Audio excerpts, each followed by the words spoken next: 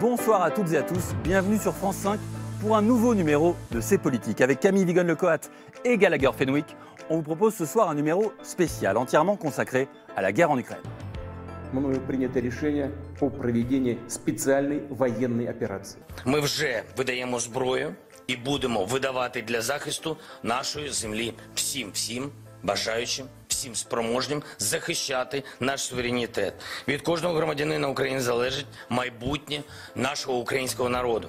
C'était il y a un an, un an déjà, un an d'une guerre qui ne devait durer que quelques jours, un an qui aura profondément bouleversé la vie des Ukrainiens qui ne cessent de résister, des Russes qui commencent peut-être à douter, mais aussi des Européens qui ont redécouvert la guerre sur leur continent. Et Gal- et Gallagher ce soir, direction Boutcha, symbole des crimes de guerre russes. C'est dans cette banlieue proche de la capitale Kiev que la presse a révélé aux yeux du monde une scène de crime de guerre géante, une scène de crime de guerre à l'échelle d'une ville, un moment de bascule dans le conflit et dans l'horreur.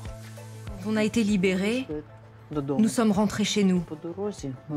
Sur le chemin, on a vu beaucoup de gens, fusillés, morts. On a vu que des jambes, des morceaux de corps par terre. Et Camille, nous irons également ce soir aux côtés des Russes qui ont choisi l'exil pour résister. Oui, ce soir, nous serons aux côtés de ces intellectuels, ces artistes qui ont tout quitté du jour au lendemain euh, avant d'éviter euh, les prisons russes. Parmi eux, une actrice, la vedette Shulpan Kamatova, une sorte d'Isabelle Huppert nationale, autrefois décorée, célébrée par Vladimir Poutine. Désormais, l'opposante cherche à faire passer des messages depuis Riga.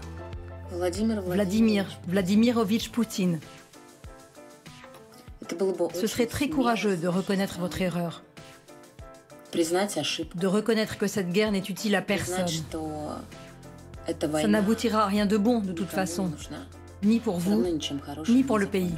Et pour nous accompagner, j'accueille deux invités. Tous deux disent ne pas avoir d'imagination. En revanche, ils sont de formidables conteurs. Ils racontent à hauteur d'hommes et de femmes la guerre, la violence du monde. L'une est journaliste, l'autre est historien. Florence Obnas et Stéphane Audouin-Rousseau sont les invités de ces politiques. Bonsoir à tous les deux. Bonsoir. C'est vrai que vous n'avez pas beaucoup d'imagination, vous l'avez dit tous les deux. C'est vrai, c'est pas un secret. Non, c'est pas un secret. Non, c'est pas un secret. C'est même prouvé chaque jour. prouvé chaque jour. Euh, merci beaucoup d'être avec nous euh, pour euh, faire le bilan et les perspectives aussi d'un an d'une guerre. Je le disais, on imaginait qu'elle durerait quelques jours. Je sais que ça, Stéphane Audouin-Rousseau, ça vous agace beaucoup parce que vous dites qu'on a peut-être un peu oublié ce qu'était une guerre.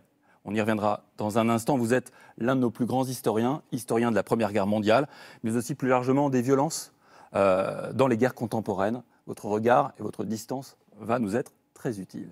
À vos côtés, Florence Omnas, grand reporter au Monde. Vous revenez d'Ukraine. Oui. Vous avez sillonné le pays. On voit euh, tous les lieux où vous êtes rendu euh, vraiment quasiment partout dans le pays. Au total, 5 mois au total euh, d'enquête sur le terrain. Vous nous direz ce que vous ont dit les Ukrainiens, ce que aussi vous dit ce conflit, et peut-être dressez-vous aussi des perspectives pour, euh, pour demain. Mais revenons à hier. Hier, il y a un an. Le début de la guerre, c'était donc le 24 février 2022. Et un mot a été presque unanimement utilisé par les médias pour qualifier ce qu'on était en train de vivre. C'est le mot impensable. Regardez, libération, l'impensable, courrier international, l'impensable, et l'Est éclair, presque quotidienne régionale, et l'impensable s'est produit. Je me tourne vers vous, Stéphane Audouin-Rousseau. Euh, pour vous, ce qui est impensable, c'est presque ça. Qu'on ait trouvé ça impensable. Pourquoi? Oui, je, suis, veux dire, je suis stupéfait qu'on ait considéré la guerre comme impensable euh, en Europe aujourd'hui.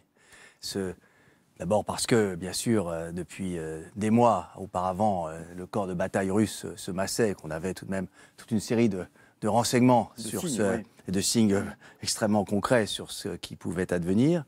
Et euh, la- le déni, le déni collectif, euh, mais qui a, qui a euh, concerné des populations, si je puis dire, très larges.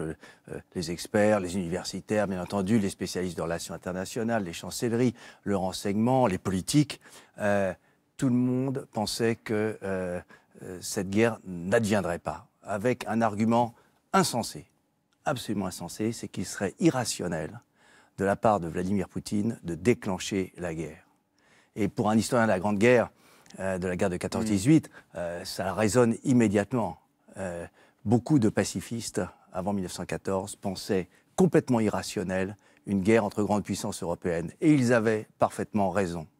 la guerre entre grandes puissances européennes était irrationnelle. Il s'agissait évidemment de, se faire la guerre entre, euh, entre pays euh, interdépendants sur le plan économique, scientifique, euh, politique et, financier. Eh bien, la guerre est advenue hein, les, ces arguments d'irrationalité, notamment économique, eh bien, n'ont jamais arrêté les, les, dirigeants. C'est la logique politico-militaire mhm. qui l'a emporté. Et donc j'ai été stupéfait de voir tant d'experts, et notamment d'experts universitaires, hein, dire ce serait irrationnel de la part de Vladimir Poutine que d'attaquer l'Ukraine. Comment, comment, une telle erreur mhm. a pu être faite?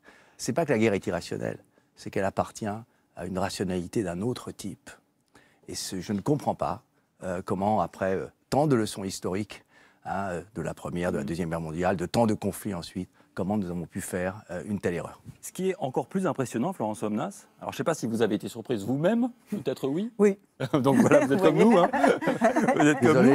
Non, non, mais c'est toujours bien d'être cadré. Mais ce qui, ce qui est intéressant, c'est que vous avez été surprise, mais dans vos premiers reportages, les Ukrainiens eux-mêmes, qui pourtant connaissent la guerre depuis déjà des années sur leur territoire, sont surpris que les Russes envahissent. Exactement, c'est-à-dire que personne, aucun Ukrainien ne s'attendait à ça, c'est-à-dire que euh, à 4 heures du matin, tous racontent la même scène, le portable tout à coup qui se met à vibrer sur l'oreiller, euh, les gens qui se réveillent, ils regardent par la fenêtre, euh, on s'appelle entre soi, les, embouteillages, 60 000 personnes à la gare de Kharkiv, la panique, les, gens s'enfuyant, la peur terrible, c'est-à-dire que quand on se remémore ces premières heures, c'est c'est sûr, ils vont gagner, c'est sûr, ils vont gagner. Et donc, il y a non seulement la surprise de la guerre, mais la certitude que la fin du monde arrive. Et c'est ça qui est, extrêmement particulier, c'est-à-dire qu'il y a d'abord cette, première résistance que personne n'attendait, y compris les Ukrainiens d'une certaine façon. Alors, une chose incroyable, 70% des hommes se sont présentés à un centre de recrutement. Donc il y a là un, afflux incroyable euh, de personnes qui disent cette fois on bouge, c'est-à-dire qu'on défend le pays. Et, donc ça c'est la première des choses. Et, la seconde, c'est on ne s'attendait pas à une guerre et pas à une guerre comme ça. C'est-à-dire que vous avez raison, depuis 2014, euh, il y a un front dans le Donbass, la Crimée a été annexée, mais tout à coup, cette guerre, avec la, libération de Boutcha, que vous montriez tout à l'heure, tout à coup, on se dit, cette guerre, c'est pas simplement quelques kilomètres au-delà de la frontière. Cette guerre, c'est euh, des civils avec leurs filets à provisions qui sont euh, tués sur le chemin, euh, les, personnes qu'on a vues, les civils qu'on a vus abattus, étaient tous un gars avec une poussette, l'autre à vélo. Enfin, c'est. Vous voulez dire qu'ils nous ressemblaient Non, c'est pas qu'ils nous ressemblent, c'est que c'est des civils. Hmm. C'est d'ailleurs, ou, sans ça, des gens avec les mains liées dans le dos? Donc vraiment des crimes de guerre tout de suite. C'est-à-dire là, on est, euh, bah, l'armée ukrainienne rentre le 1er avril, donc euh, dans Boutcha. Donc très vite, on se rend compte que cette guerre, ça va être ça. Et ça va être ça. Et l'autre chose aussi, pardon, qui est, très impressionnante, c'est que les Russes arrivent et ils arrivent avec des listes. Donc ils rentrent dans une ville, ils ont une liste et ils disent voilà, alors le maire, on vient l'arrêter, euh, le, prof qui bouge un peu trop aussi, euh, le, type de la Croix-Rouge pareil. Et donc ça y est, c'est la mise au pas, c'est-à-dire qu'on arrive et tout de suite on impose un autre ordre. Et, c'est là où les Ukrainiens tout à coup se sont dit on ne s'attendait pas à la guerre et pas à ça. Un ordre rationnel pour le coup. Vous parliez d'un déni collectif dont on a fait preuve. Aujourd'hui, ces images qu'on évoque, ces images de conflits, de, villes dévastées, de combats, de chars, elles sont entrées dans tous les foyers en Europe. Elles sont aussi entrées chez nous à travers les images de télévision euh, quotidiennes. Est-ce que vous estimez qu'un an après le début du conflit, ce déni collectif est terminé? Bien, je ne pense pas. Et c'est euh, d'ailleurs euh, pour moi un grand désarroi. C'est qu'après une année de d'images, comme vous le mm. dites, d'informations. Et quelles informations hein, les, Ces atrocités, effectivement, mm. dont vous parlez, qui sont produites dès le début et non pas euh, à, la suite d'un long processus euh, d'exaspération de, la, mm. violence, hein, qui sont un message très clair de domination et de soumission hein, de, la population. Et eh bien après tout cela, on a l'impression tout de même que euh, le, cette guerre ne mord pas dans la société française elle n'entre pas en profondeur, elle n'est pas une préoccupation majeure de notre temps. Qu'est-ce qui vous fait dire ça? Ben, Ça me paraît tout à fait évident. Euh, de quoi s'occupe-t-on euh, depuis ces dernières semaines donc euh, dans notre pays? On s'occupe, que je sache, de la question des retraites, mmh. sans se rendre compte qu'une guerre comme celle-là, dont rien n'a dit qu'elle va rester limitée à, l'Ukraine, et alors, disons à la Russie et à l'Ukraine, rien n'indique qu'une telle guerre ne puisse pas évidemment escalader, hein, comme hmm. disait Clausewitz. Hein, la montée aux extrêmes des guerres est un des processus hein, à craindre dans, le, phénomène guerrier. Et à ce moment-là, bien entendu, la guerre, qui est le, phénomène le plus important que puissent rencontrer nos sociétés, eh bien surdétermine tout le reste. Et à ce moment-là, la question des retraites ne se pose tout simplement plus du tout. Il est curieux que personne ne le dise et que personne ne s'en rende compte, que personne, en d'autres termes, ne se rende compte de la gravité de la situation. pardon, ce serait à qui de, le dire L'historien ou la journaliste C'est à nous de le dire. Euh, c'est à ceux qui, euh, je pense, euh, voilà, les, les, reporters de guerre comme Florence Aubenas, comme les historiens, les militaires éventuellement, les politiques, mais osent-ils le dire et le comprennent-ils complètement eux-mêmes? C'est la question que, euh, que je me pose. Florence Omnas, ce qui est intéressant, c'est que vous faites des allers-retours. Oui. Un peu pour vous euh, laver, je ne sais pas comment dire, pour vous régénérer avant de repartir et pour ne pas perdre le pouls de la société française. Les propos euh, de votre voisin, Stéphane Rousseau, doivent vous faire réagir, j'imagine, vous qui connaissez très bien la société française, mais aussi la société de guerre ukrainienne. Alors, je, pense, euh, euh, c'est vrai, je, suis d'accord tout à fait euh, avec Stéphane que le, sur le fait qu'il y a un déni en Europe, hein, en, France en l'occurrence, mais dans d'autres pays d'Europe aussi. Donc, on ne se rend pas compte de, ce qu'est cette guerre et à quel point elle est proche de nous, à quel point elle est à quelques. Enfin, je veux dire, on est, on est vraiment pas la ligne de front directement, mais pas très loin. Hein, mmh. Franchement, c'est, il faut faire attention. Et à la fois, je, pense, si, si, cette urgence est comprise, je trouve pas mal qu'on continue à vivre quand même. C'est-à-dire qu'en Ukraine, et c'est ça qui est très frappant, c'est tout le pays est en état de guerre. Certains, certaines régions sont sur une ligne de front, donc, euh, et certaines villes ont été tout simplement rasées. Mmh. Donc, donc il, y a, des situations très différentes euh, suivant l'endroit du pays, mais tout, le monde est en état de guerre. Et à la fois, si vous prenez des images de, de Kiev, vous pouvez voir des jeunes gens en, trottinette euh, qui s'arrêtent au café, qui prennent un cappuccino. C'est-à-dire, plus, plus on a peur, plus la vie normale, on s'y raccroche. Et il y a ce côté-là, il y, a un côté comme ça en Ukraine, un côté, euh, euh, eh bien malgré tout, euh, on fait passer des lois. Voilà, là par exemple, il y avait le, Parlement débattait en Ukraine d'une loi, faut-il faire le mariage pour tous? Donc ça, peut sembler ah bah paradoxal, et à la fois, moi je le comprends, c'est-à-dire qu'on on ne peut pas H24 quand on n'a pas de chauffage, pas d'électricité, qu'on regarde mm. en permanence le ciel, se dire bon, ben, j'arrête tout. Et, ça, c'est intéressant, Stéphane Doirozo. Est-ce que ça ne va pas un peu à l'encontre de votre thèse? Est-ce que ça ne veut pas dire que ce que vous appelez du déni, c'est pas aussi au contraire une force vitale extraordinaire qui ne remet pas en cause euh, la prise en compte de la réalité de la guerre? Mais notre, euh, entre le déni, je crois que ce, que ce dont parle Florence euh, donc, n'est pas un déni. Il se, passe autre, il se passe autre chose. Je parle en. Ukraine. Ce n'est pas du tout du même ordre que notre forme d'aveuglement. Euh, dans le cas de, l'Ukraine, et tous les, ces, articles et, d'autres le disent, euh, nous sommes dans le temps de la guerre, donc un mm. temps qui est par définition extraordinaire et qui est un temps spécifique où les acteurs sociaux, d'ailleurs, n'agissent pas comme ils auraient agi euh, en, temps de paix. Eux-mêmes, d'ailleurs, sont surpris Hein, de, la manière dont ils agissent hein, euh, désormais, parce qu'ils se révèlent dans un temps, à, commencer par le président Zelensky, se révèlent dans un euh, entièrement différent hein, de, de, ce qu'était euh, la veille mm. leur, comportement dans le temps de paix. Mais dans l'extraordinaire de la guerre, il y a toujours de l'ordinaire.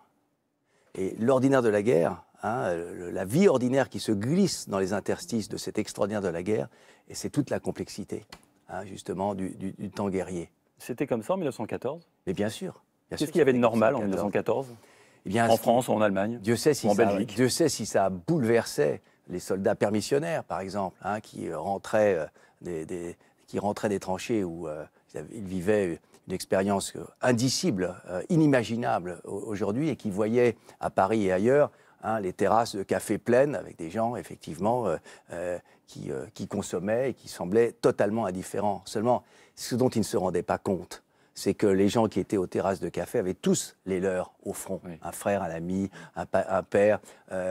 et, et qu'en fait, cette, cette, population vivait dans une angoisse atroce. Qui, une angoisse atroce, l'attente des correspondances, l'attente du mmh. moment où on allait annoncer la mort, et que pour autant, hein, ils essayaient ou continuaient de vivre normalement. Et il me semble que ce que dit Florence sur la société ukrainienne eh bien, euh, fait absolument référence à, ce même type de comportement social. Vous l'avez remarqué, ça, cet aller-retour entre le front et l'arrière, pour parler comme euh, on parlait pour la Première Guerre mondiale? Bien sûr, c'est même. Euh, alors en Ukraine, il y, a ce côté se raccrocher à, la, vie normale. C'est-à-dire que, par exemple, il y, avait une chose qui était très importante, c'était rouvrir les cinémas, par exemple. Mmh. Ça paraît. Oui, en mais c'est ouvrir les théâtres. Voilà, ben, voyez. Et donc, oui, mais c'est parce qu'il faut et parce que oui, c'est frappant et, et, on le conçoit. Hein. Mmh. mais simplement, ce qu'il y a de très particulier en Ukraine, c'est que tout le pays est en guerre. C'est-à-dire que le, pays entier, la, population entière a compris que, euh, il, il, en va de la survie du pays. Et, ça, c'est quelque chose. C'est-à-dire qu'ils euh, ont calculé que pour une personne au front, il faut pour l'aider plus de 25 personnes. Donc il faut celui.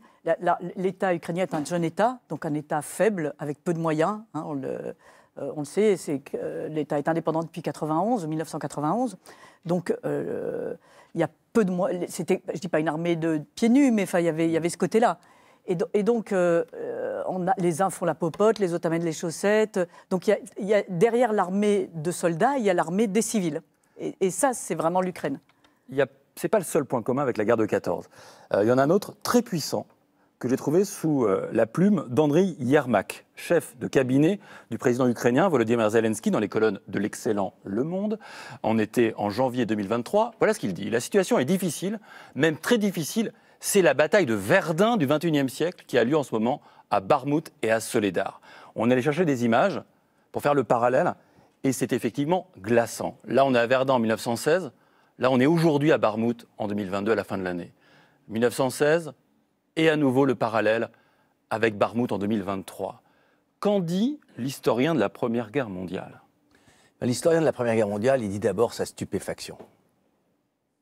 Très modestement, car personne, je crois, n'envisageait hein, que la guerre devienne une guerre de position et où les tranchées sont absolument indispensables pour protéger le corps, tout mm. simplement, de ceux mm. qui, combattent. Hein, c'est le seul moyen, hein, notamment, de se, de se protéger du bombardement on s'aperçoit aussi, c'est stupéfiant, que, hein, que ces tranchées euh, d'aujourd'hui eh bien, euh, sont euh, un milieu de vie aussi, aussi atroce, aussi médiocre, hein, aussi dévasté hein, que mm. celui de Verdun en, 1916 et d'autres endroits d'ailleurs. La Somme, c'est la boue, c'est la boue et le froid. On la voit, la boue, le froid, la destruction tout autour, cette désolation de, de, ce, de, ce, type de combat. Un type de combat Hein, qui euh, épuise les combattants. Il n'y a, pas de, combat plus épuisant hein, que ce, cette, bataille continue hein, que représente la, guerre de tranchées, où chacun finalement s'assiège réciproquement, s'assiège mutuellement pendant des semaines, des mois, euh, sans que l'on voit de euh, sans que l'on voit de, de, rupture, possible, en tout cas, pour l'instant. Et ce qui est frappant aussi, bien sûr, et ça, vos images ne montrent pas, c'est que dans ce contexte, l'arme de domination du champ de bataille, c'est l'artillerie, comme en 1916, comme dans les grandes batailles de matériel de 1916. Qui l'eût cru? Qui l'eut cru? Euh, je crois que personne n'avait prévu cette extraordinaire régression historique.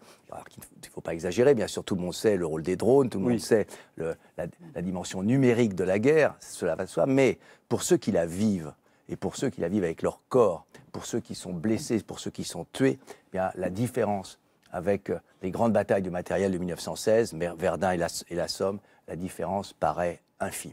C'est fou ce que vous dites. Hein. Franchement, c'est vraiment impressionnant mm. d'entendre le grand historien de la Première Guerre qui assume le parallèle, qui dit pas, qui se cache pas, en disant mais c'est des conditions différentes. Vous assumez le parallèle. Et votre voisine Florence Omnas écrit c'est un mélange de guerre ancienne avec du sang, de la boue, des tranchées et nouvelle aussi, avec une société hyper connectée et solidaire qui suit en direct les infos venant du front. Vous dites la même chose tous les deux en réalité.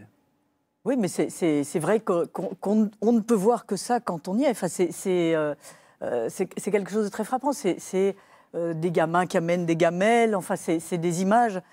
Et, qui, pour quelqu'un comme moi, c'est très très troublant quand mmh. on, voit cette scène en face de vous. On, a une espèce, d'impression de régression. Pour moi, c'est j'ouvre un livre d'histoire, je vois ça, et tout à coup, c'est une réalité. Et c'est vrai que la première fois que je l'ai vu, mais les larmes vous viennent aux yeux. Vous dites, ça n'est pas possible aujourd'hui. Eh bien, c'est cette réalité euh, qu'on est en train de vivre en Ukraine. Et ça, ça c'est très très troublant, les mêmes mots. Vous savez, quand, sur votre ordinateur, vous vous retrouvez à taper euh, euh, euh, résistance, y a, toutes les guerres se mêlent parce qu'il y a... Première ligne, deuxième première ligne. deuxième ligne, ligne de front, avancée, ville rasée, etc. C'est un moment où vous dites de quelle guerre je suis en train de parler. Moi, à un moment, j'ai dû m'arrêter d'écrire certains articles en me disant mais de quoi je parle? Je connais d'autres reporters qui, de guerre, effectivement, qui, comme vous, ont eu l'impression sur place, dans les premières lignes, d'être dans un livre d'histoire et, non pas dans le, et non pas dans le réel, en quelque sorte, où ils se trouvaient. oui, les guerres jusqu'à présent, nous, c'était des guerres chirurgicales. C'est-à-dire, on vous disait, oh, ça va tomber, c'est juste un truc, on n'est pas au sol, ça, ne se voit pas, ça fait à peine mal à trois personnes. La guerre dite propre Voilà. Mm. Et, là, tout à coup, euh, c'est vous êtes face à ça. Est-ce qu'en acceptant ces similitudes, qui sont souvent refusées d'ailleurs par certains de vos collègues historiens qui préfèrent sur les différences, on ne cherche pas quelque part à se rassurer parce qu'on la connaît, l'issue de, la Première Guerre mondiale. Donc en s'attachant à ces similitudes, est-ce qu'on n'est pas en train d'essayer aussi quelque part de se rassurer Parce que l'issue, elle est prévisible si c'est la même chose? Excusez-moi, mais n'est-ce pas l'inverse? Si, euh, si c'est bien une guerre de position, euh, donc de ce siège réciproque, donc, euh, qui est extraordinairement dévoreur d'hommes et de matériel, comme on, mm. comme on le, voit pour les, pour les deux camps, eh bien, cette guerre est très difficile à terminer. et donc, comme l'a dit le, commandement euh, américain, le chef d'état-major américain, les Ukrainiens ont peu de chances de terminer, euh, de, pouvoir repousser hein, l'armée russe euh, au cours de l'année 2023. Donc il faut imaginer un deuxième hiver de guerre dont on ose à peine parler. Et donc, et donc une année supplémentaire et combien, de, et combien de temps encore? Et à ce moment-là, et à ce moment-là, les effets hein, de la, de la, les effets de, la, de déflagration en quelque mm. sorte de la guerre, non seulement sur ceux, les belligérants, mais sur nous, Hein, évidemment, ne cesse d'augmenter et de s'approfondir, avec évidemment tous les risques stratégiques. Donc en fait, cette, cette proximité très troublante entre Première, première Guerre mondiale et, guerre d'Ukraine est une, me paraît plutôt une menace hmm. hein, qu'un moyen de, de, se rassurer. Sans oublier que, comme vous le savez aussi bien que moi, euh, nous n'avons pas su sortir de la Première Guerre mondiale. On évoquera précisément euh, comment sortir de la guerre, la question aussi du temps est-ce que le consentement des soldats va se transformer en contrainte, comme ça a été le cas pendant la Première Guerre mondiale? Bref, plein de sujets passionnants avec nos deux invités. L'émission spéciale Ukraine continue, mais d'abord c'est la semaine Paul signée Alexandre Guetta avec Simon Young.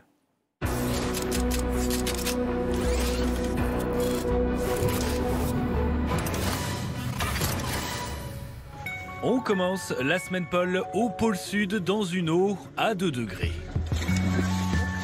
Cette nageuse, c'est Barbara Hernandez, une jeune chilienne qui a battu cette semaine un record, nager pendant 45 minutes sur 2 km et demi dans les eaux glaciales de l'Antarctique, le tout sans combinaison.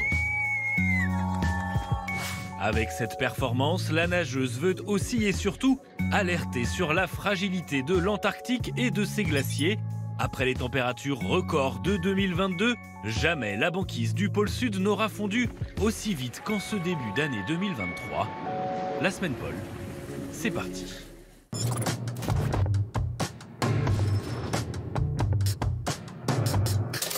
C'est une enquête sidérante qu'a révélé cette semaine le consortium de journalistes Forbidden Stories. Story Killers, c'est le nom de cette enquête sur la désinformation et sur la manipulation à travers le monde. Comment une officine basée à Tel Aviv s'est professionnalisée dans la désinformation à l'échelle planétaire, capable parfois de déstabiliser tout un pays, une officine dans laquelle ces trois journalistes ont pu s'infiltrer. Si vous voulez euh, reporter une élection, si vous voulez faire en sorte qu'il y ait beaucoup d'agitation dans un pays pour reporter une élection, c'est 6 millions d'euros.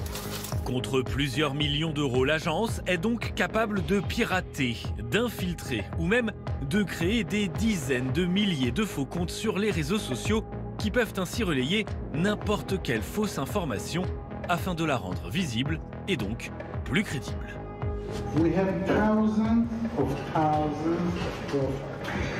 Facebook and Instagram and Twitter and, YouTube channel and Telegram and whatever you Au-delà des réseaux sociaux, l'agence israélienne serait aussi capable d'activer certains journalistes pour diffuser des infos orientées, y compris en France. Ils nous disent très naturellement, euh, vraiment très simplement, comme des vendeurs de voitures qui voudraient nous vendre une belle voiture, vous savez, on a quelqu'un à la télé française si vous voulez, on peut l'activer. Et là, il nous joue une vidéo euh, de BFM TV. L'Union européenne annonce un nouveau train de sanctions contre la Russie. La... Ce journaliste, c'est Rachid Embarki, présent jusqu'au mois dernier sur la première chaîne d'info de France. Trois banques russes, des sanctions à répétition qui font craindre le pire aux constructeurs de yachts à Monaco. Une info qui sera ensuite reprise et partagée par les milliers de faux comptes créés par l'agence. Derrière cette impressionnante usine à fake news, cet homme, Tal Hanan, qui revendique l'ingérence de son agence dans 33 campagnes présidentielles à travers le monde. Selon lui, 27 d'entre elles ont réussi à influencer le scrutin.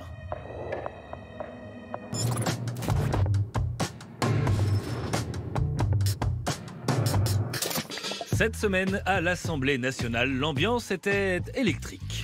Non, non, non, vous vous croyez où? Non mais c'est incroyable Non mais est-ce qu'on peut juste cesser des cris là? Des débats houleux et finalement peu constructifs où chacun s'est accusé cette semaine de faire perdre du temps à l'autre camp. Vous jouez la montre. On a un index senior qui ne sert à rien, qui est vide, qui est creux, et là-dessus, vous y allez sur des développements, sur les sportifs de haut niveau. Qu'est-ce qu'on va faire pour le club de Dunkerque? Qu'est-ce qu'on va faire pour le RC Lens? Mais vous fichez de nous Ça fait 20 minutes qu'on est sur ce petit bidule à la noix 75 députés à LFI ont déposé 13 000 amendements. 175 amendements par député. Et on nous accuse de faire de l'obstruction. C'est hallucinant. Pendant que les politiques se déchirent, autre ambiance ce jeudi entre Laurent Berger et Philippe Martinez. Est-ce que vous entendez bien? Ouais, on s'entend bien. Alors euh, j'ai j'ai du mal à le dire devant lui parce que j'aurais pas non plus. Non, non, mais euh, bien sûr qu'on s'entend bien. On se respecte depuis toujours d'ailleurs. Même quand on, a- on exprime des désaccords, on se respecte. Et puis c'est vrai qu'humainement, le, le- ça passe bien. Donc euh, on va pas se cacher. Une véritable bromance après plusieurs années de relations compliquées, symbole d'une union syndicale enfin retrouvée.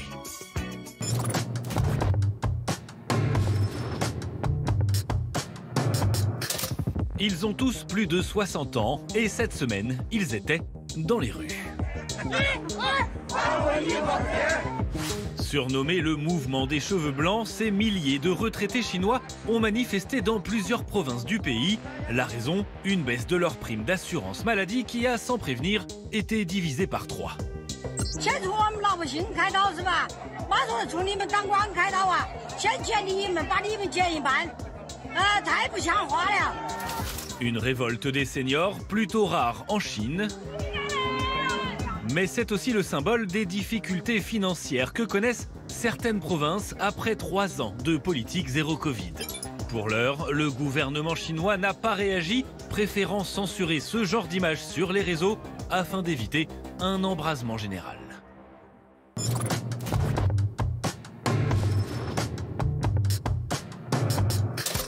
On termine la semaine Paul avec une grande première en Europe. Les députés espagnols ont voté cette semaine une loi créant un congé menstruel pour les femmes. Se acabó ir a trabajar con dolor, se acabó empastillarse antes de llegar al trabajo y tener que ocultar que esos días estamos con un dolor que nos incapacita para trabajar. Todas aquellas mujeres que lo necesiten podrán hacer uso de esta incapacidad temporal para reglas, eh, eh, con incapacitantes. L'Espagne prouve une fois de plus qu'elle est en avance en matière de droits des femmes, un projet de loi qui renforce également l'accès à l'avortement dans les hôpitaux publics et qui permettra désormais aux mineurs de 16 et 17 ans d'avorter sans l'autorisation de leurs parents. La semaine Paul, regardée par nos deux invités de l'émission spéciale du soir consacrée au un an de guerre en Ukraine, l'historien Stéphane Audouin Rousseau et la journaliste Florence Obnas. Euh, dans la semaine Paul, on évoque la guerre informationnelle. Vous avez vu avec cette officine israélienne. Dans la guerre, la vraie guerre, l'information est un trésor ou en tout cas une arme extraordinaire. Euh, première question à la journaliste. Est-ce que sur le terrain, vous sentez la puissance de la propagande d'information, d'ailleurs de quelque camp que ce soit Ce qui est sûr, c'est que dans les guerres, une des premières victimes symboliques, bien sûr, c'est la presse. Je croyais que vous alliez dire la vérité. Non. C'est la presse. euh, euh, la vérité, c'est Oui, un concept compliqué. d'accord. Mais le- le- la presse, en tout cas, c'est sûr. La, la guerre de, de 14, enfin, euh, Stéphanie reviendra beaucoup plus amplement que moi, mais euh, c'est vrai que la presse française est la première du monde avant la guerre. Et elle, elle- elle chute absolument. Le, le terme de bourré- bourrage de crâne naît pendant la, de- la Première Guerre mondiale. Donc il y a- il y, a toute cette propagande de 3500 personnes Mhm. euh, chargées de la communication. Ce n'était pas le terme de l'époque, pour de la propagande euh, au ministère de la Guerre à l'époque, etc. Deuxième Guerre mondiale, 99% de la, de la presse ferme après la guerre, donc ayant collaboré, etc. Donc il y a- il y, a là aussi un jeu à deux. Il y a un jeu euh, euh, où les journalistes veulent travailler, où les journalistes, est-ce qu'ils collaborent, est-ce qu'ils, qu'est-ce que- qu'est-ce qu'on fait? Donc c'est quelque chose d'assez subtil. On, on se, ré- on se réfugie euh, souvent derrière la censure en disant j'aimerais bien mais je peux pas. C'est plus, à mon avis, c'est plus compliqué. Euh, donc euh, c'est vrai qu'en Ukraine, euh, il y a une question un peu sensible. Allez-y. Est-ce que, quand on est euh, allé plutôt à être du côté ukrainien par principe et par valeur, on a tendance à s'auto-censurer sur le terrain?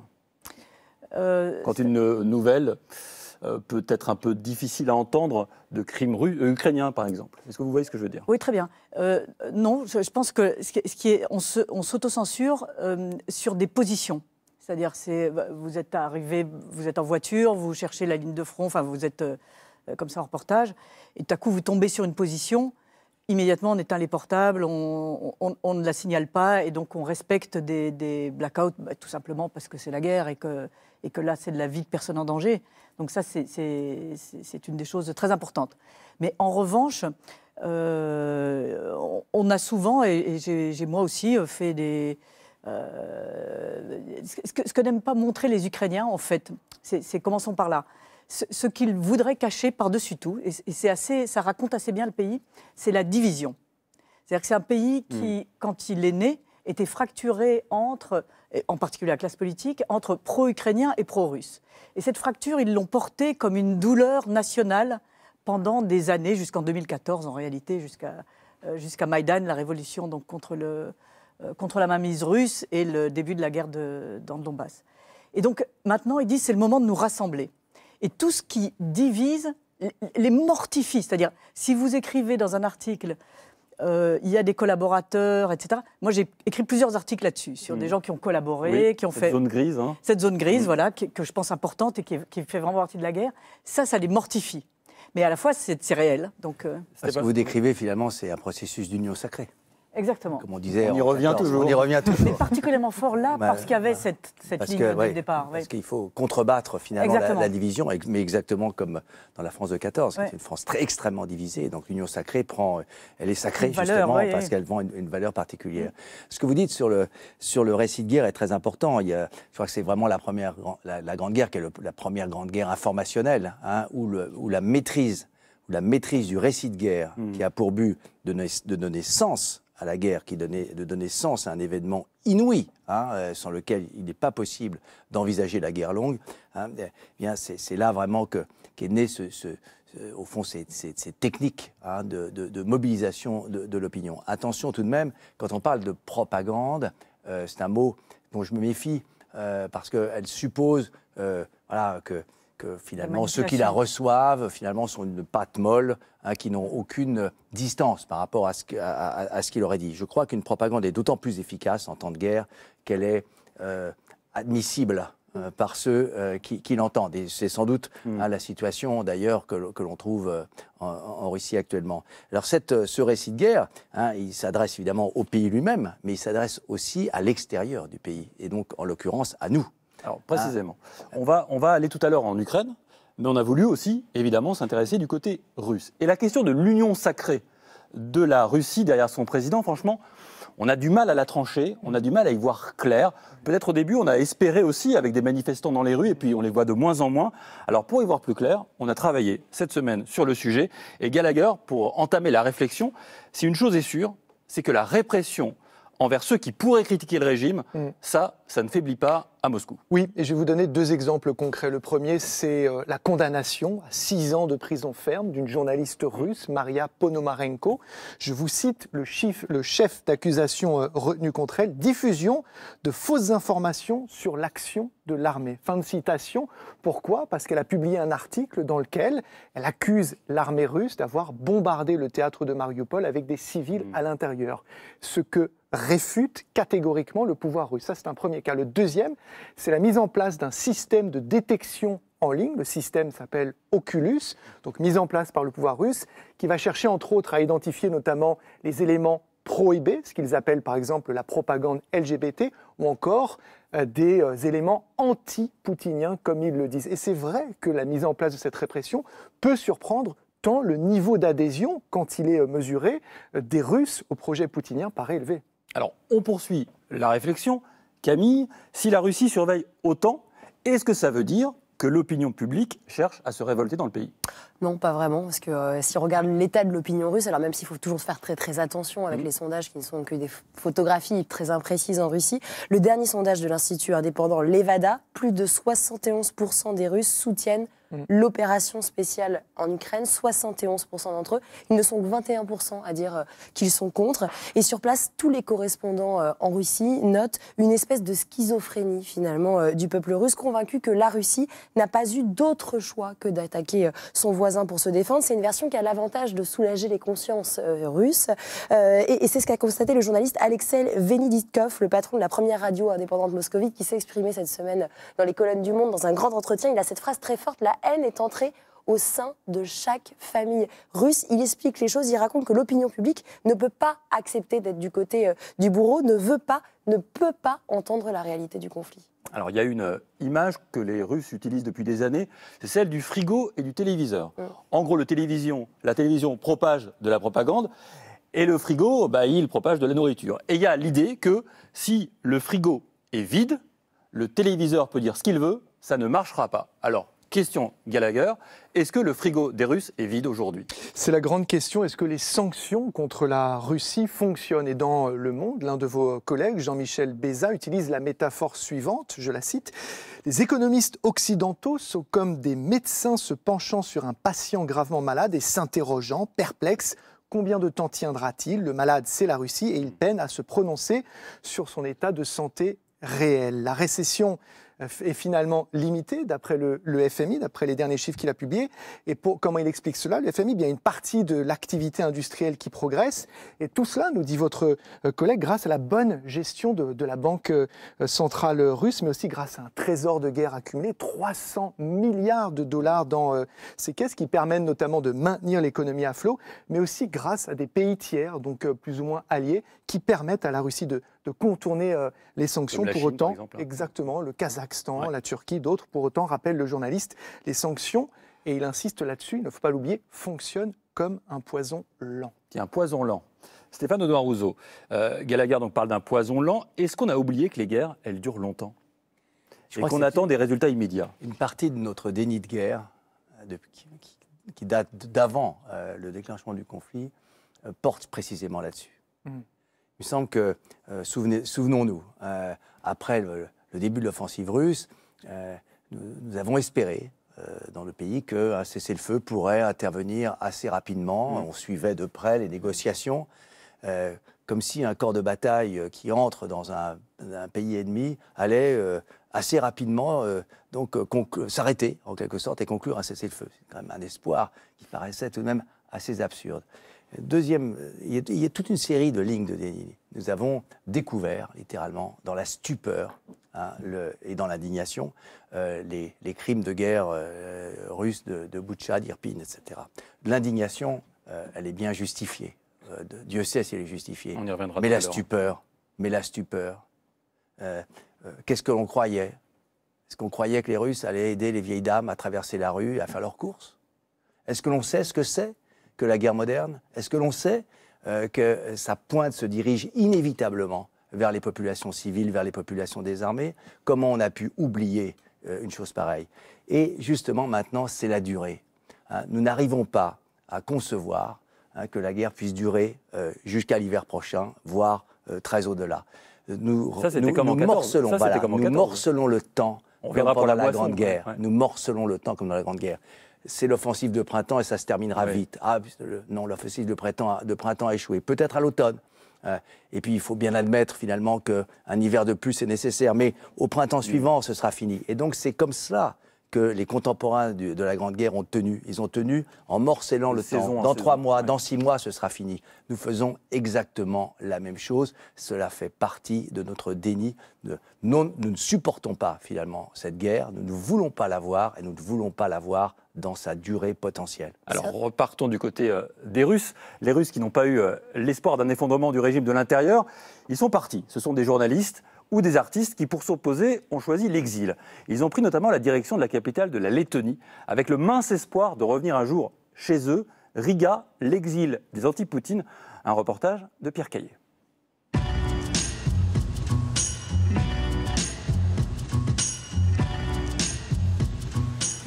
Je m'appelle Maria Epifanova. Je suis la directrice de Novaya Gazeta Europe. J'aime l'architecture, j'aime les parcs ici à Riga. On est à côté de la mer aussi. C'est tellement exotique, vous savez, pour quelqu'un qui est né en Russie. Bien sûr, c'est aussi pratique quand les gens parlent russe. Et à Riga, il y a vraiment beaucoup de monde qui parle russe. Je me sens en sécurité ici.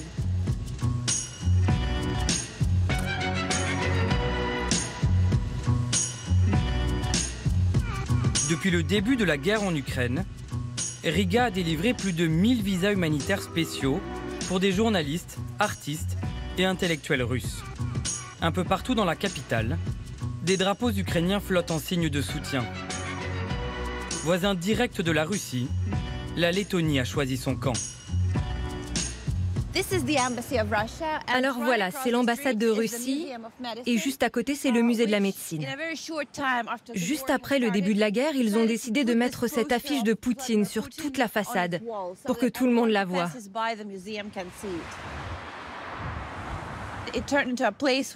C'est un message politique très fort. C'est angoissant parce que tout nous rappelle la guerre ici maintenant.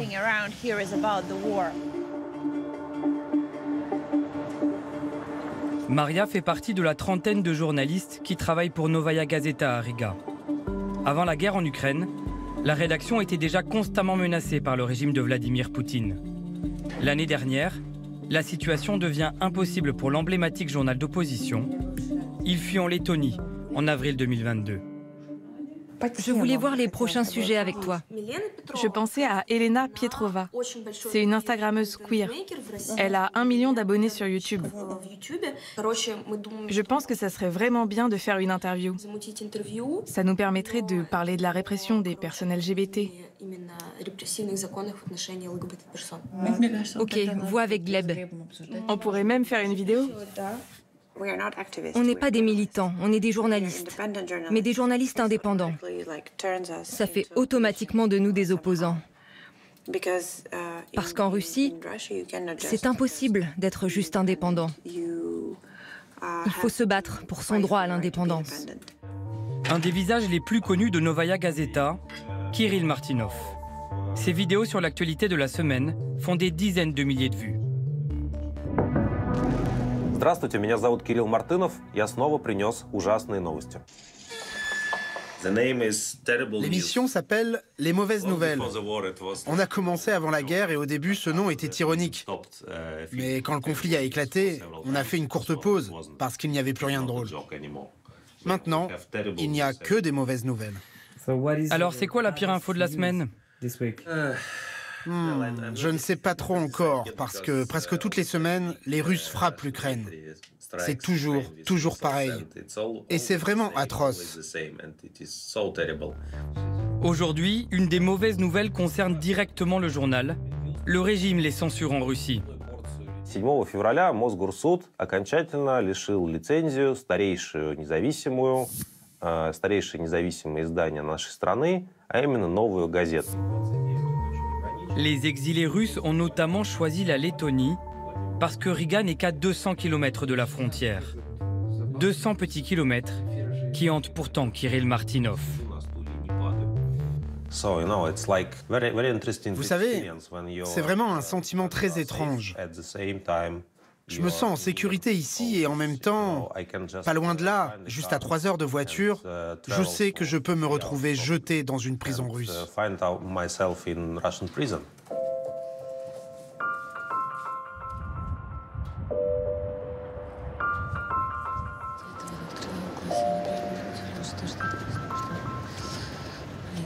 Je m'appelle Shulpan Ramatova.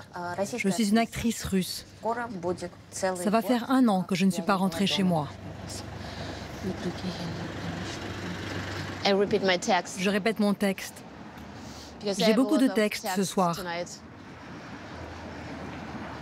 Et j'ai toujours peur de l'oublier. J'ai choisi Riga. C'était une décision spontanée parce qu'il fallait bien partir quelque part, vite, dans l'urgence. Bien sûr que c'était la panique. Bien sûr qu'on a eu peur qu'ils ferment les frontières et qu'on ne puisse plus sortir du tout. Tulpan Ramatova est une immense star en Russie. Ancien soutien de Vladimir Poutine, elle appelle à voter pour lui en 2012. Le président russe la décorera même trois ans plus tard. Наильны Хаматовой. Одна из самых ярких, тонких, высокоодаренных актрис, она востребована и в театре, и в кино. Mais tout a changé depuis cette interview du 20 mars 2022, à peine un mois après le début de la guerre en Ukraine. Чтобы мне вернуться в Россию, перестать говорить о том, что это война и что это трагедия, брать себе, брать всему миру, Shulpan Ramatova s'est réfugiée au nouveau théâtre de Riga. Elle y joue Postscriptum, une pièce contemporaine. Monologue d'une heure trente en russe autour de la question du bien et du mal. L'actrice est profondément meurtrie par son déracinement, rongée par cette guerre. Je n'ai pas d'autre arme que de monter sur scène. Je joue pour éveiller les consciences. Vladimir Vladimirovitch Poutine, ce serait très courageux de reconnaître votre erreur, de reconnaître que cette guerre n'est utile à personne. Ça n'aboutira à rien de bon de toute façon, ni pour vous, ni pour le pays.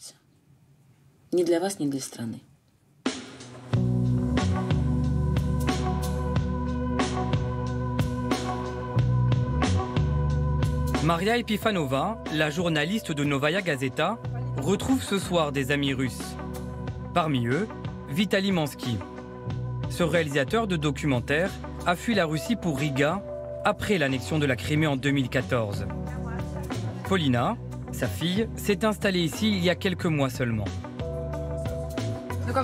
Alors, vous avez repéré des endroits sympas ici? Oui, j'ai repéré quelques bonnes adresses en ville. Mais c'est vrai que c'est quand même un peu calme. Je comprends. Quand on vient de Moscou, on peut avoir l'impression que c'est un peu mort ici.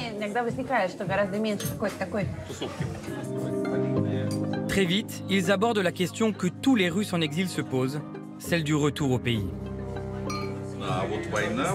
Il m'a fallu attendre le 24 février, le début de la guerre, pour vraiment couper le cordon avec la Russie.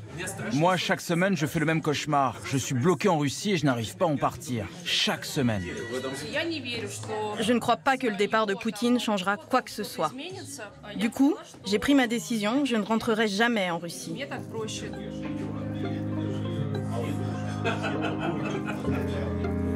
Florence Omnas, je vous ai vu réagir à cette phrase couper le cordon avec la Russie. Pourquoi? Parce que c'est vrai que l'exil est une chose, mais il y a toujours cet espoir de revenir. Quand on dit couper le cordon, ça veut dire je ne reviendrai pas. Et, je trouve ça très frappant parce que c'est quelque chose de cher aux exilés. Je reviendrai peut-être dans dix ans, quand le pays aura changé, etc. Il y a toujours le rêve d'un autre pays dans lequel on reviendra.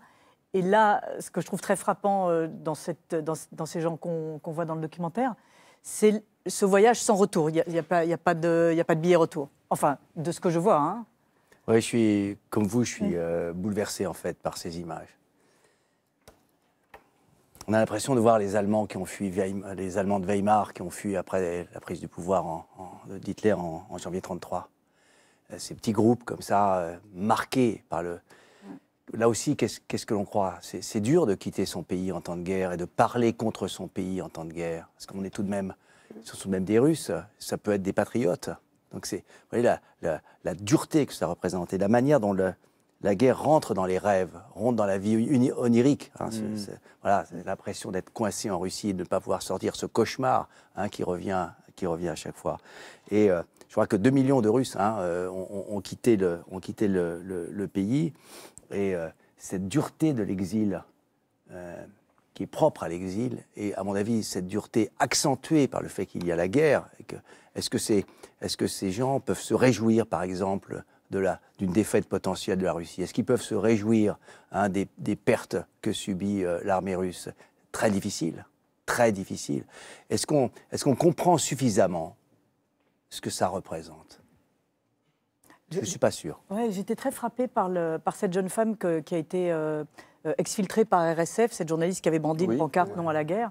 Et ce qu'elle racontait, je trouvais très, très frappant sur, sur la situation en Russie. Elle disait bah, Je me suis enfuie avec ma fille. On disait Mais vous avez en Russie un mari, un fils? Et elle dit Oui, mais on est disputés. Eux, eux, eux sont fâchés contre moi d'être partis et de prendre cette position. Et donc la guerre se passe aussi dans l'intimité. Et ça, c'est quelque chose de très particulier et qui est au cœur du travail universitaire. La guerre se passe toujours dans l'intimité. La guerre traverse, entre dans les familles. Elle, brise le, euh, la famille nucléaire, le, noyau familial. Et euh, euh, c'est pour ça, c'est une des raisons pour la guerre, pour laquelle la guerre est l'événement collectif le plus important qu'une société puisse traverser et que les acteurs sociaux, nous-mêmes, puissions traverser. Et je retiens ce que vous avez dit, hein, jusque dans les rêves jusque la nuit. Euh, il est 19h19. Je vous propose d'aller du côté des Ukrainiens, euh, Florence Omnas et Stéphane Audouin-Rousseau. Cette guerre assez politique, on la documente depuis un an. Et un témoignage nous avait beaucoup marqué, celui de Rodion Krotov, jeune Ukrainien de 21 ans, réfugié en France avec sa famille depuis 2015 pour fuir la guerre du Donbass. Il était sur notre plateau le 20 mars 2022 pour nous parler notamment de son père. Il est parti euh, le dimanche, directement après le début de la guerre, c'est-à-dire la guerre a commencé le mercredi. Il est parti le dimanche. Je pense tout d'abord que son choix a été fait peut-être à cause de moi et je m'en veux pour ça. Parce que moi, euh, j'étais vraiment à deux doigts de partir moi-même pour protéger mes amis, pour protéger ma famille. Je voulais vraiment y aller et mes parents, ils le savaient. J'ai prévenu des amis déjà, je leur ai dit de, si jamais il m'arrive quoi que ce soit, de protéger ma famille, de les aider. Rodion Krotov est de retour dans ses politiques. Bonsoir Rodion. Merci d'avoir accepté à nouveau l'invitation de ces politiques. C'est une marque de confiance. On en, est, euh, on en est heureux et fiers à la fois. Le 24 février 2022, vous avez mis euh, vos études entre parenthèses euh, pour participer à l'effort de guerre depuis la France. Euh, votre père est revenu en France depuis euh, euh, quelques temps. On va en parler avec Camille. Mais d'abord, est-ce que vous pensiez sincèrement qu'un an plus tard, vous reviendriez nous parler d'une guerre inachevée et une paix qui semble encore lointaine? Bonsoir à tous. Honnêtement, pas du tout. J'espérais que la fin de la guerre arrive beaucoup plus tôt. Malheureusement, il se peut que ça continue toujours, qu'on continue de se battre, euh, même d'ici, qu'il y a toujours des morts, qu'il y a toujours des combats, qu'il y a toujours des réfugiés, qu'il y a toujours des victimes. Euh, malheureusement, on est obligé de continuer de se battre pour notre liberté, pour euh, la paix dans notre pays, pour les vies de nos concitoyens, de nos frères ukrainiens, frères et sœurs, et euh, la guerre euh, devrait se terminer bientôt, d'après les informations qu'on reçoit du front, mais on, s'attend à tout. Rodion Krotov, vous, vous, parlez du front, votre père a combattu euh, sur le front, il est revenu en France. Comment va-t-il et comment ça s'est passé sur place? Alors, c'est pas exactement ça. Il, a, il, est parti pour combattre. Mhm. Euh, sur place, il s'est inscrit dans toutes les listes euh, des, voilà, pour partir au front, mais à cause de son âge et puis ses genoux, son, son état de santé, il a été mis en attente.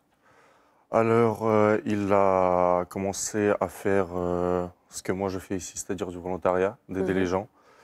Il aidait les gens, enfin surtout des, des femmes, des enfants, les, les mamies et les papiers à sortir des points chauds, c'est-à-dire il, partait à plusieurs dans une camionnette et puis euh, ils récupéraient des gens. Et puis pour ceux qui restaient, ils emmenaient des aides. Donc c'est la continuité de mon travail ici. Moi, je récolte, j'envoie. Eux, ils récupèrent, ils redistribuent là, euh, là où il y a besoin. Et depuis son retour euh, Depuis son depuis Son retour c'est compliqué. C'est-à-dire que quand il est revenu tout juste le, le jour où il est revenu en France, il est arrivé directement à Paris. Je suis parti le récupérer à Bercy et j'habite pas loin d'Orly. Mhm. Euh, C'est-à-dire, moi, j'ai des avions qui passent euh, au-dessus de, voilà, de la maison tous les jours. On, est, on venait à peine de sortir de la voiture et il y a un avion qui est passé. Il a eu tellement peur que je ne pourrais pas expliquer à quel point. Je crois que moi-même, j'ai jamais eu autant peur dans ma vie, juste à cause d'un bruit. Il a fait une crise de panique euh, en Euh, entendant presque, l'avion Presque, mais c'était euh, voilà, c'était très très difficile. Et c'est pas le seul cas que je connais comme ça. C'est-à-dire euh, moi qui travaille euh, tout le temps avec les réfugiés, car euh, même nous dans une petite ville comme Bourges, on en a énormément. Donc c'est pas le, seul, la seule personne, on va dire, qui est toujours touchée et blessée par cette guerre, même si elle n'est pas blessée physiquement. Ça, voilà. On, on l'entendait dans l'extrait qu'on a passé tout à l'heure. Il y a un an, vous aviez eu très envie vous-même euh, de partir pour l'Ukraine, pour défendre votre pays. Un an plus tard, est-ce que vous en avez toujours envie? Alors, euh, oui et non. C'est assez difficile de répondre puisque euh, je comprends que là, j'ai beaucoup d'amis militaires qui, avec qui on a été camarades de classe, avec qui on a, on a eu un bon passé ensemble, qui sont actuellement au front. Heureusement, j'ai que des bonnes, euh, des bonnes nouvelles de leur part. Moi, je comprends que si j'y vais, je serai une simple chair à canon. Voilà, j'ai aucune expérience militaire. Et ici, euh, j'arrive à travailler et à réussir à sauver des vies. Avec mon association qu'on a créée avec euh, les bénévoles, on a réussi à monter et puis récupérer plusieurs villes déjà. Donc pour l'instant, je comprends qu'ici, je sers à plus. Je peux faire plus.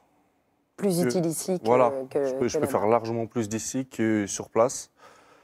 Mais euh, le jour où je servirai à plus rien ici et que je pourrai plus rien faire, et si la guerre continue, je ne pourrai pas rester. Mon, euh, Vous êtes en train de dire que vous pourriez, je reprends votre expression, être utilisé comme de la chair à canon autant être utilisé comme ça que se cacher, il n'y a rien à faire.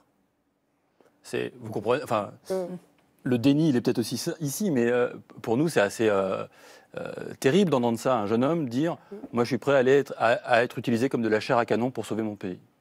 Eh ben, bah, c'est la triste réalité, c'est que la plupart des, euh, des soldats ukrainiens, la plupart des gens, même ceux que je connais qui sont actuellement militaires, il y en a très peu parmi eux qui, qui étaient euh, militaires à la base, Mhm. avant la guerre. Ils sont tous arrivés au moment de la guerre, ils ont appris sur place, et voilà. Ils partaient tous comme de la chair à canon, et euh, pourquoi pas moi? Vous êtes originaire de Mariupol? Exactement. Euh, ça raconte peut-être quelque chose encore en plus de votre histoire, cette ville martyre de cette guerre. On voit les images euh, à l'écran, euh, la ville ravagée, euh, bombardée, occupée par, les Russes. Cette ville, vous y avez vécu, grandi. Je pense que vous connaissez de nombreuses de ces rues par cœur. Comment est-ce que vous regardez ces images Déjà, qu'est-ce que ça vous fait quand vous voyez ces images?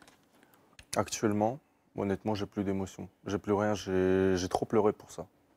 J'ai trop pleuré pour toute la situation. V- Votre oncle y est toujours, je crois. J'ai, euh, oui. Après, je préfère pas dire euh, voilà les noms, etc.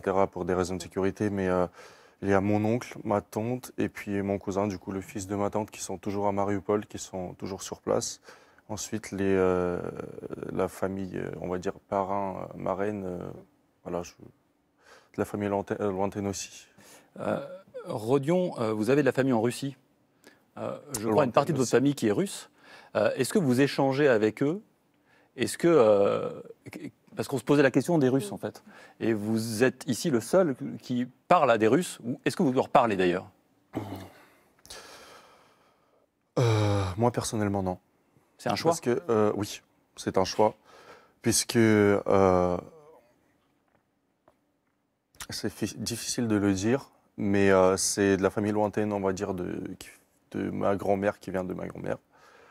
Et que eux, dès le départ de la guerre, quand on a dit que voilà, Mariupol, là, la ville où vous avez vécu, la ville que vous connaissez, que vos frères et sœurs y ont vécu, la maison où votre sœur a vécu est détruite, On se fait tous bombarder. Est-ce que, pourquoi vous ne faites rien? Ce qu'ils nous ont dit, c'est que, eh ben, tant pis pour vous, vous l'avez mérité. Donc, euh, leur choix, c'est leur choix, c'est de soutenir le régime de Poutine. Mais euh, moi, mon choix, c'est maintenant, c'est plus ma famille. Je suis désolé, mais je peux pas. Est-ce que vous avez euh, vu l'interview d'Emmanuel Macron, le président de la République française, qui ce matin dit dans la presse qu'il ne souhaite pas écraser la Russie? Écraser la Russie, cela n'a jamais été la position de la France. Comment est-ce que vous entendez cette phrase? Qu'il ne veut pas écraser le peuple. Qu'il ne veut pas que le peuple russe soit malheureux à cause de leur euh, dirigeant euh, qui a mis en place depuis longtemps un régime totalitaire un régime euh, où il n'y a qu'une seule personne au pouvoir et c'est toujours lui. Et le peuple ne mérite pas de voilà d'être écrasé comme il a dit. Florence Omnas? Euh, le, moi, cette phrase d'Emmanuel Macron, elle m'est restée assez obscure, à vrai dire, et je trouve cette, cette explication très généreuse. Oui, parce que dans le même texte, en fait, il y a aussi chez Emmanuel Macron la volonté de ne pas renverser Vladimir Poutine. Mm en considérant que ce qui pourrait arriver après pourrait être pire. Comment est-ce que vous l'entendez, ça, Florence Omnas Et Stéphane Audin après.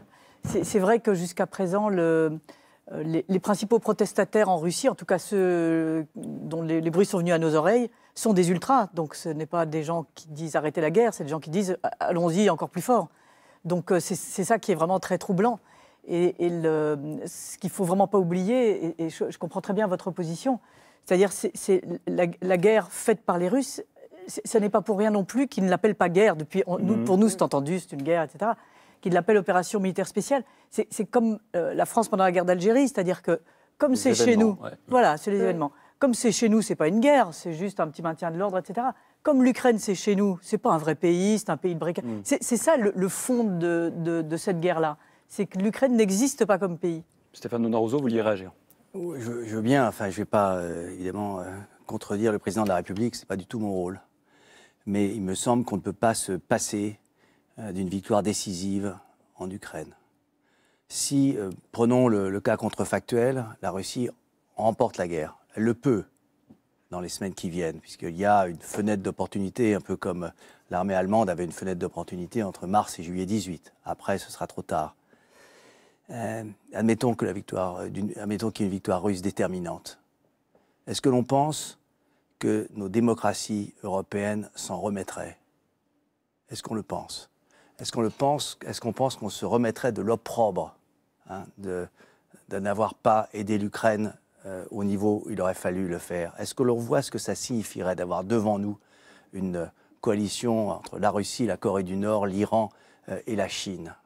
Est-ce qu'on croit que nos démocraties déjà tellement fragilisées de l'intérieur pourraient faire face à une catastrophe pareille?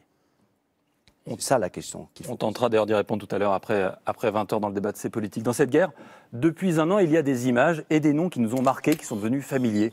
Des visages aussi, celui de Volodymyr Zelensky, muet en chef de guerre dans la nuit de Kiev, celui de cette femme près de Kharkiv, blessée euh, par la guerre. Il y a aussi des lieux. Mariupol et son théâtre éventré, Mariupol toujours, avec cette image qui a choqué le monde entier, la maternité de Mariupol et cette femme enceinte. Il y a aussi le pont d'Irpin et ces centaines d'Ukrainiens qui ont fui les combats. Et puis, il y a cette photo d'une rue à Boutcha, jonchée de corps de civils tués. C'était le 2 avril 2022. Le monde entier découvrait avec stupeur les massacres commis par l'armée russe dans cette ville à 30 km au nord-ouest de Kiev. Exécutions sommaires, actes de torture et viols. Ces découvertes ont provoqué un électrochoc dans la communauté internationale et une très profonde indignation. Here in Bucha, we saw our humanity being shattered. The whole world is mourning with the people of Bucha. Что сделал вашей России украинский город Буча? Как это все стало возможным? Nous sommes retournés un an après dans cette ville devenue symbole du martyr ukrainien et des crimes de guerre russes, une ville qui tente de vivre à nouveau les fantômes de Butcha. Un reportage d'Edward Ewood avec Diana Bouitrago et Vincent Buchy.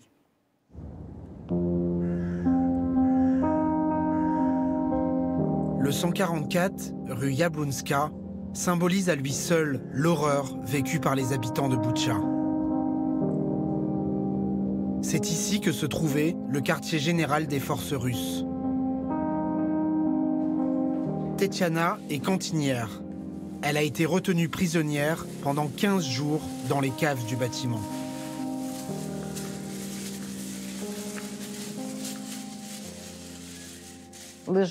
Ils ont installé leur lit ici. Où exactement Juste là.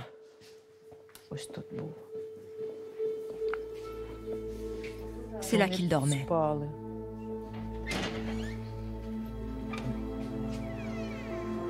Ça, c'est l'abri.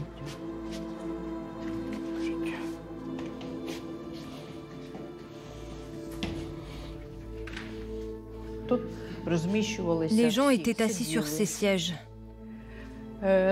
Les enfants étaient allongés par là. Il y avait des personnes âgées aussi, par là. Ils étaient assis ou allongés.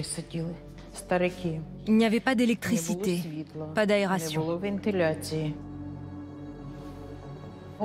Les soldats nous disaient, si on vous laisse partir, vous serez fusillés par les snipers. Mais après, ils nous ont dit, on vous retient ici parce qu'on va vous tuer, tout simplement. Dans ce bâtiment, les soldats russes enferment et torturent à grande échelle. Les images de vidéosurveillance montrent des civils emmenés de force vers la rue Yablunska.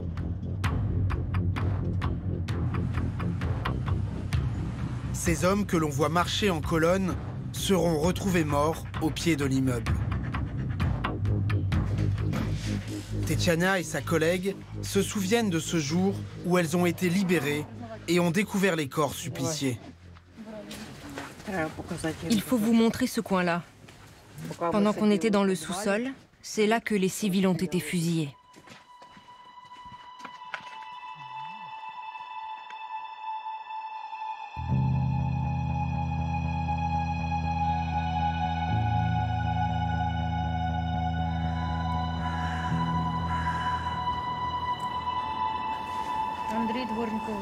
Andriy Dvornikov était par terre, ici.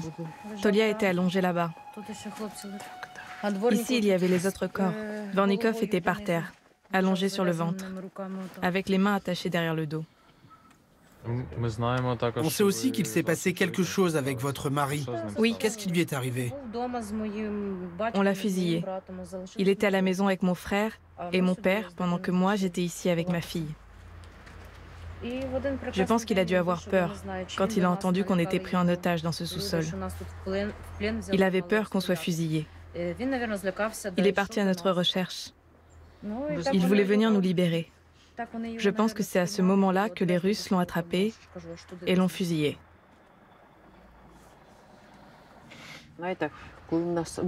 Quand on a été libérés, nous sommes rentrés chez nous. Sur le chemin, on a vu beaucoup de gens, fusillés, morts. On n'a vu que des jambes, des morceaux de corps par terre.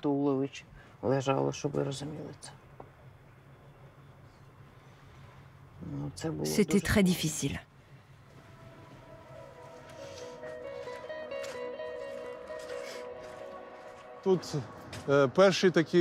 C'est ici que le premier combat a eu lieu. C'était le 27 février. Vassili habite la rue principale de Boutcha. Là où une colonne de chars russes qui roulait vers Kiev a été détruite par l'aviation ukrainienne. Dès la fin des bombardements, il est sorti de chez lui, filmer son quartier, transformé en zone de guerre. Boucha, rue Vokzalna. Oh la vache. La maison a brûlé. Et il y avait qui dans cette maison? Ils ont été retrouvés? C'était le numéro 32 de la rue. Il y a quelqu'un?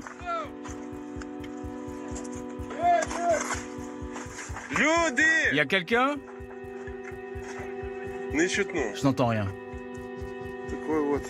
Si c'est ça la fin de l'hiver, ça va être quoi le printemps? Le monde est-il devenu fou Ce jour-là, on n'y croyait pas. C'était des sensations étranges, irrationnelles.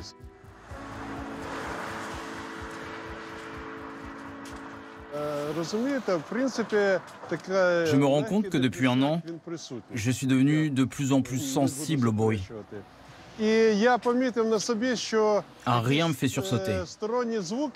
Par exemple, quand j'entends quelqu'un utiliser un marteau et frapper, le bruit me rappelle celui des tirs d'armes automatiques.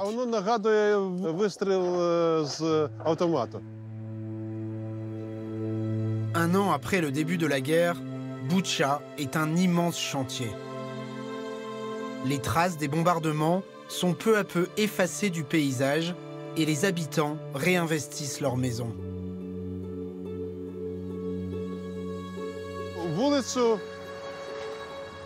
La première chose qu'on a fait, c'est de dégager les chars détruits.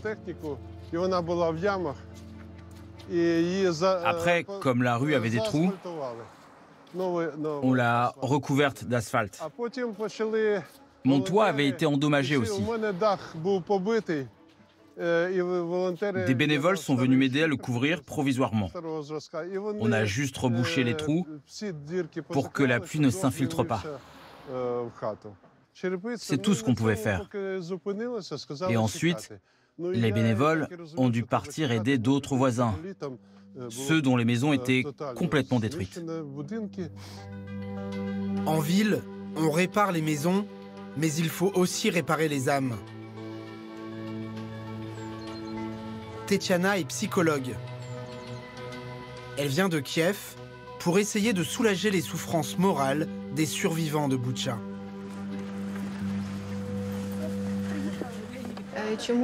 Pourquoi venir ici? Parce que je ressens que les gens qui ont vécu l'occupation sont plus vulnérables psychiquement et qu'ils ont besoin d'être écoutés. C'est notre métier, aider les gens. C'est vrai qu'en ce moment, beaucoup de choses remontent à la surface. Chaque heure, chaque jour, quand je me balade, quand je communique avec les autres, quand je lis l'actualité,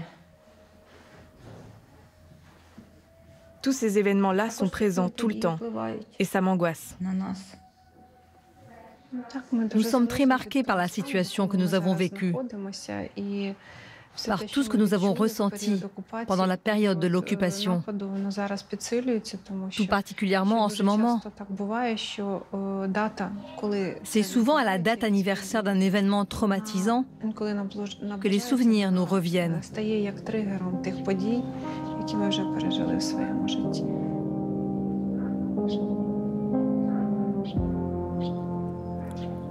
Rodion Krotov, je vous ai regardé ces images avec euh, beaucoup d'émotions. C'est quoi le sentiment qui euh, prédomine chez vous? C'est quoi? C'est la colère? C'est le sentiment de, de vengeance? C'est la tristesse? C'est quoi? La rage, la colère. Parce que là, c'est. euh, ça y est, on en a trop pleuré pour ça. On veut juste se venger. C'est même pas se venger en fait. On veut juste arrêter tout ça. On veut arrêter la guerre, on veut reprendre nos territoires, notre liberté et continuer la vie comme elle était avant. C'est tout ce qu'il faut. C'est tout ce qu'on veut. Florence Somnas, vous êtes, euh, vous êtes rendu, je crois pas à Boucha pour un sujet, mais à Izium, où là aussi il y a la- le reflux, quand l'armée russe s'en va et on voit les corps et les crimes de guerre. Euh, Comment vous entendez ça? C'est-à-dire, c'est- c'est euh, c'est vrai qu'on a vu, je, je suis allée en Ukraine de, donc, euh, de mois en mois, et donc je l'ai vu sur la durée. Et c'est vrai que cette- ce ce qui prédominait au départ, c'était la stupéfaction et la peur, la Mm. terreur. Et ce qu'on a vu monter peu à peu, c'est ce qu'il dit, la colère et la rage. C'est-à-dire, c'est qu'à un, moment, euh, ça, ça n'est plus possible. C'est-à-dire que euh, aujourd'hui en Ukraine, euh, il y a des petites filles qui s'appellent Javelina, donc qui est le nom de ce porte-missile américain.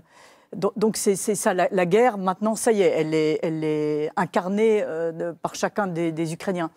Et c'est vrai que vous parliez de chair à canon et d'être comme ça. Aujourd'hui, il y a beaucoup de jeunes gens, par exemple, qui disent voilà, moi, je, n'ai pas été pris dans les premières vagues de mobilisation parce que je n'avais pas d'expérience militaire. hein, c'est souvent ça qui a fait le tri. Et donc là, ils, achètent tout, ils vont tout acheter sur Internet en l'occurrence. Et donc c'est la, la- la formidable organisation ukrainienne, donc arrive par la poste euh, tout le matériel qu'on voit. Et donc ils s'équipent eux-mêmes, vont s'exercer le dimanche en disant d'accord, je serai cher à canon, d'accord, mais avant, j'en tuerai le maximum. Et c'est un discours qu'on n'entendait pas au début. Mais c'est un discours aujourd'hui qui se radicalise, qu'on entend se radicaliser. Stéphane Audin Rousseau. Ce que nous décrit, euh, ce que nous décrit euh, Florence à l'instant, euh, mais ce, que, ce que vous décrivez aussi, hein, c'est ce qu'on appelle une culture de guerre. Et je suis très frappé par ce, par ce reportage que j'ai trouvé remarquable hein, sur, sur Boucha. Qu'est-ce que l'on voit? D'abord, on voit qu'ils se sont produits, ces atrocités se sont produites tout de suite. donc, et c'est impressionnant que ce soit produit tout de suite. Euh, deuxièmement, on voit finalement une, trilogie. Hein. Euh, la torture, qui a pour but de faire entendre beaucoup plus que de faire parler. Euh, les exécutions sommaires, bien sûr, et les viols, en l'occurrence les viols de masse. Tout ça, c'est ce qu'on appelle des pratiques de cruauté.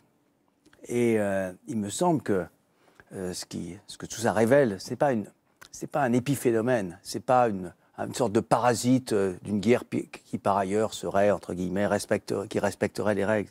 Non, c'est le centre de la guerre. Ces atrocités donnent le sens profond de cette guerre hein, du côté russe. Hein, euh, et ce sens, c'est euh, d'envoyer un message de domination et de soumission. Et ce message, il est envoyé aux Ukrainiens, bien sûr, à leur communauté, mais il est envoyé jusqu'à nous. Nous le ressentons. Hein. il, nous traverse depuis, depuis la révélation de ce qui s'est passé et il continue de nous traverser. On a, on a un chiffre qui illustre très bien ce caractère systémique de ces violences, ces crimes de guerre. Le procureur général d'Ukraine s'est exprimé récemment et il parle de 67 000 enquêtes ouvertes pour des cas de crimes de guerre. 25 verdicts rendus à ce jour. Stéphane Audouin-Rousseau, quel rôle la justice peut-elle ou doit-elle jouer dans le cadre de son conflit selon vous? Nous savons aujourd'hui, euh, la, la, justice, hein, la justice nationale ou internationale hein, euh, devrait passer, hein, comme elle a passé euh, pour euh, la Bosnie, enfin, la, guerre d'éclatement de l'ex-Yougoslavie, qui était sans doute le premier avertissement mm. du retour de la guerre en Europe auquel nous n'avons pas prêté suffisamment attention et dont la Russie était indirectement partie prenante. elle est passée, elle continue de passer pour le Rwanda, par exemple, qui est un sujet qui m'intéresse beaucoup. On espère évidemment mm. qu'elle pourra passer euh, ici, dans le cas de l'Ukraine. On se demande néanmoins, et c'est la, la, grande tragédie de la, justice, de la, justice, internationale dans le cas des crimes de guerre, crimes contre l'humanité et crimes de génocide, dont, l'un me très important, qui est la déportation d'enfants d'un groupe dans l'autre groupe, article, article 2 de la Convention de 48, et qui euh, nous, ramène à ces 6000 enfants hein, qui ont été déportés, là, il n'y a pas d'autre mot, hein, euh, en Russie. mais la, tragédie de la justice internationale, c'est que la disproportion est énorme entre le nombre de crimes et le nombre de condamnés. Hmm. Vous évoquiez la question de ces enfants. Euh, ils sont euh, des, dizaines, euh, des milliers d'enfants ukrainiens qui ont été déportés, rééduqués, parfois adoptés. C'est constitutif de crimes contre l'humanité. Un véritable système planifié par l'État russe. Et au cœur de cette effroyable machine, il y a une femme, Maria Lovla Belova, la commissaire aux droits de l'enfant. Elle a même adopté un adolescent ukrainien dans une vidéo de propagande. Récemment, elle dit merci à Vladimir Poutine. Regardez. Сами ребенка установили из Мариуполя, да? Владимир благодаря вам. Маленький? Нет, 15 лет. Mm. Теперь я знаю, что такое быть мамой ребенка с Донбасса. Mm. Сложно, но друг друга точно любим. Самое главное. Это да. Я думаю, что совсем же справимся, правильно? Конечно. Rodion, comment l'enfant de Mariupol entend cela